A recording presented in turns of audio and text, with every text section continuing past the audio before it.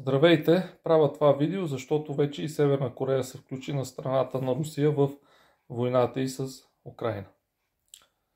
Казвам и Северна Корея, защото, както знаете, Беларус косвено през цялото време подкрепяше Русия.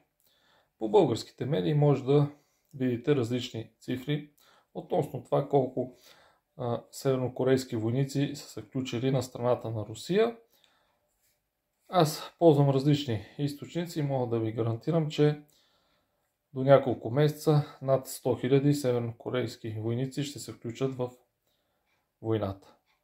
Там има голям наплив от желаящи. В Северна Корея дори се споменава, че над 1 милион войници искат да заминат за Украина.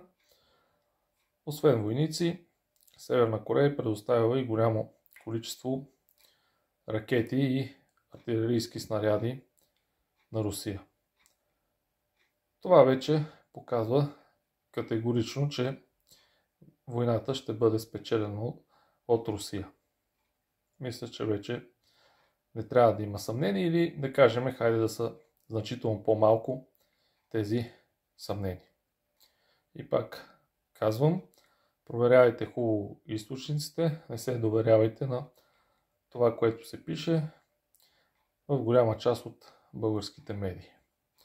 Ползвайте различни източници, сравнявайте данните, мислете, не дейте така сляпо да вярвате и да се подавате на провокации и пропаганда от укранофилите.